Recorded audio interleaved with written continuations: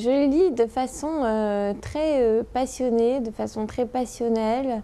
C'est-à-dire que euh, quand je, commence un livre et qu'il m'intéresse, bah, je, vais, je vais faire que ça. Je vais le lire sur la journée, je vais, oublier de manger.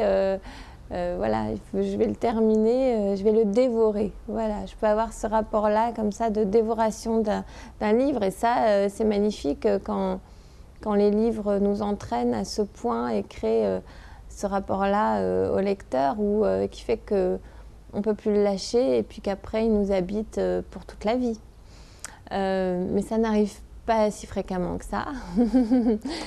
et donc, sinon, je peux lire. Bon, de toute façon, je lis un petit peu tous les jours, mais les moments où je lis, c'est surtout le, le week-end, parce que justement, quand je lis, j'aime bien avoir beaucoup de temps devant moi pour, euh, pour ne pas m'arrêter. J'aime pas m'arrêter euh, dans les livres.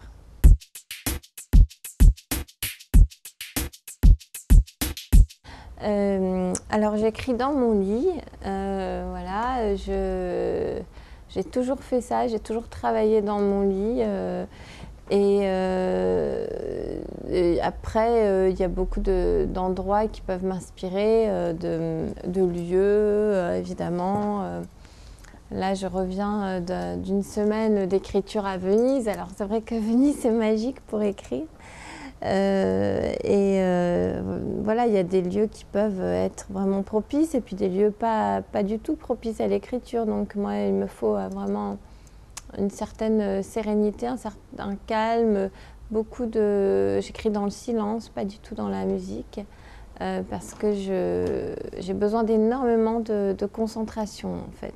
L'ordinateur est un, pour moi, c'est un outil extraordinaire euh, qui permet, parce que j'ai une écriture très besogneuse, c'est-à-dire que je ne fais pas un G et puis euh, ça, ça part comme ça. Je, je, retravaille énormément mes textes, je repasse euh, mille fois, 1500 fois.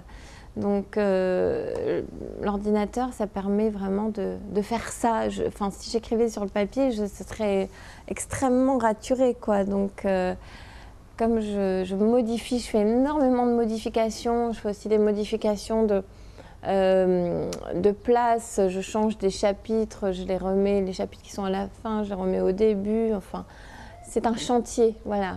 Plutôt T, euh, plutôt T, euh, et peut-être parfois, ça dépend ce que j'écris, ça dépend la façon dont j'écris, mais parfois plutôt whisky que vodka.